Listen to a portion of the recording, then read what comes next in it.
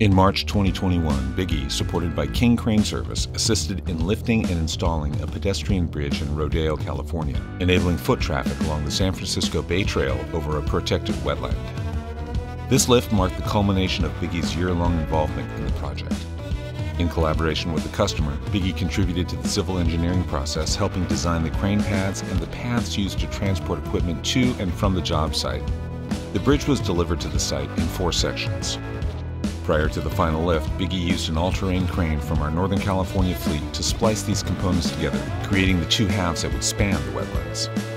They were rigged together on one bank to a Liebherr LTM 1400 and to King Crane's Grove GMK 6350 on the other. The two halves were suspended for nearly six hours as crews from the GC and Bigge worked together to join the two sections. Bigge's Link-Belt HTC 86100 hydraulic truck crane assisted in the final process, supporting a man basket carrying two ironworkers. Once fully spliced and securely positioned on its abutments, the bridge was secured to its anchors. Bigge is proud to have been involved in a public project to enhance and improve the Bay Trail, and we look forward to working on more projects of this nature. Contact Bigge to learn more.